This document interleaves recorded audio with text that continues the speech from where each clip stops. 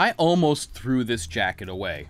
It hung in my closet for years, just a little bit too big for me, in a colorway that I didn't particularly like, a relic and a leftover from my father, who actually, this is probably the only thing of his that I still own. What stopped me from throwing it away was its heft and its weight, which was unlike anything I had ever felt and much different than anything I had in my closet to that point. This overwhelming feeling of quality made it just seem like a waste to just toss it. And this was until about 10 years ago when I started really looking into what Filson is and knowing more about wool and those kind of things. And I'm really glad that I, uh, I wasn't so foolish to toss this thing in the trash. Now it's still a little too big and I don't particularly care for buffalo plaid, but I've begun to wear it on occasion and I even bought one of my own. So in this video, we're gonna look at the history of the Mackinaw Cruiser, but more importantly, I wanna show you the way that you can date one if you do buy it secondhand, which I actually do recommend because brand new, they're pretty expensive, but the internet is full of secondhand models which uh, they, they wear like iron. So you can pick up a used one for much less and uh, you know it's hard to find one that's really damaged. So in this video, we're gonna look at the history and a way to date your own Filson Mackinaw Cruiser. During the 1700s, yes, I know Filson wasn't around back then, but there were trading posts in the Great Lakes region, most notably around the Straits of the Mackinac or Mackinaw. It was at these trading posts that frontiersmen would trade goods with the local Native Americans, including dense, warm, woolen blankets of red plaid, and this fabric became known as Mackinaw cloth. Fast forward to 1811 when Captain Roberts of the British Fort St. Joseph on the St. Mary's River needed coats for his garrison. He had 40 great coats made from the Mackinaw cloth that they had at the fort. These coats were so effective that the following year he had more made. Among the men issued these coats was a messenger who asked for his coat to be shortened to make it easier to walk through the deep snow. Uh, you know, a great coat is pretty long. This coat would have been the first of the Mackinaw cruisers. When Filson finally opened up shop, one of their first products was the Mackinaw coat, which was especially popular among timber cruisers and actually patented by Filson in 1914. Now it's interesting, a timber cruise itself, a timber cruise is a sample measurement of a stand used to estimate the amount of standing timber that the forest contains, so that the people who go out to collect these measurements deep in the woods they're known as timber cruisers. Just like the messenger of the previous century, shorter wool coats help them traverse the deep snow of the Pacific Northwest while still keeping warm. Aside from the length, the rest of the coat is built for work as well, with plenty of pockets. The upper left pocket has spaces for writing instruments and a pad. The rear contains a large pocket, ostensibly designed for holding maps. There's even a small compass pocket on some of these models. Plenty of storage for gloves or a hat or your favorite pipe tobacco, all that stuff, add up to this being the ultimate explorer coat of its day.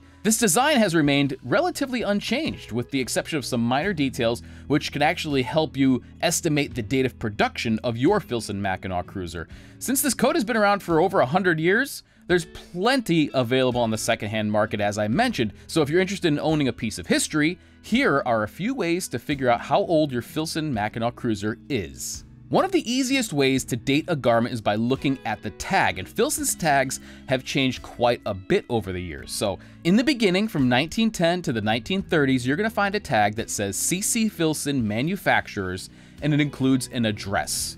These are the oldest tags around, and they'll include the address of the Filson store, which actually changed several times. So, the earlier tags will have the address 1011 First Ave, and then again in 1942, they moved to 1005 First Ave, and then in 1930 they moved to 1001 Second Ave. So you may see any of these and they're going to be in different order. Now, one thing to remember is that they probably used up some of the old tags that they had, so when they moved, they didn't just throw out all the tags. So they very well have met, been in the second address and used some of the uh, the tags that included the first address and, and all that, but it gives you a good idea of roughly the era that your Filson may be from. From the 1930s to the 1940s, you will find a tag that says Filclo.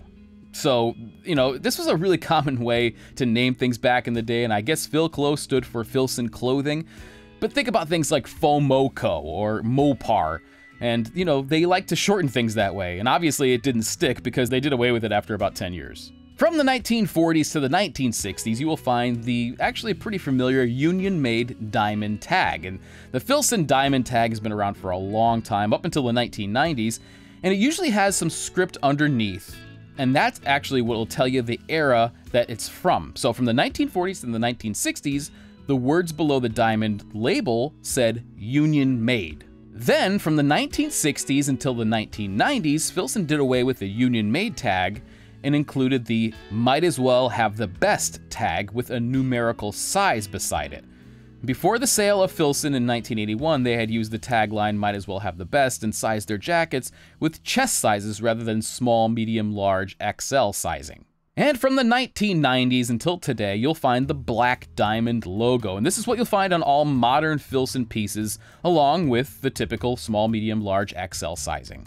Now, there are a couple of other things that you can use to date your Filson garment, and that actually has to do with the jacket and the design of it itself.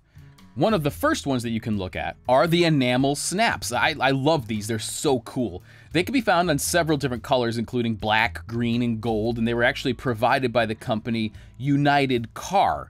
These were used from the 1920s through the 1950s when they were replaced with the current black debossed snaps that you find on, on everything nowadays. The offset lower pocket. This has kind of become the stuff of legend, but the front of the Mackinaw Cruiser has four equal-sized pockets, which are typically positioned right in line with each other, except for a period in the 1940s through the 1950s where the lower left pocket is slightly offset from the upper and it's a little bit smaller. Now, why they chose to do this is a total mystery to me, but it does clue you in at least to a particular era of your Filson. The Woolmark tag is found on lots of wool items across the world, and its history could probably warrant its own video, but in the 1990s, Filson licensed the use of the Woolmark tag, so it could help pinpoint the approximate date of the red diamond tag garments. The one I have in front of me does have this, so it's safe to assume that this is from some point in the 1990s. Production tags. Okay, now this is going to get a little complicated, so just kind of stick with me here. Inside the inner pocket, but sometimes it's not there, sometimes it's up near the tag, it, you'll find a little tag with the lot number on it. 110 is for the Mackinaw Cruiser, lot 83 is for the double Mackinaw Cruiser, etc. And there's a whole list of these if you want to look it up, along with a series of digits below it. Now, this is where it gets weird. Throughout the 1990s, the first two digits indicated the year, while the two later digits indicated the month. For example, a garment may have a four-digit code of 9605, which would mean that it was produced on May in 1996. But in the 2000s, Filson just decided to reverse the order so that the first two digits are the month now, and the second two digits are the year. So a garment with 0414 designation would be produced on April of 2014. And it's likely they swap these things around to make sense after the new millennium, but it does get a little tricky. Now the jacket itself is a tank. And I don't really care which one you get, the double Mackinaw Cruiser, the long cruiser, the regular one like I have here, or even their, their shirt jack ones, which for some reason are almost thicker than these. A little strange, but either way, their Mackinaw wool is amazing. And I have it on good authority that their current Mackinaw wool is made by Pendleton. So Pendleton Woolen Mills out on the West Coast.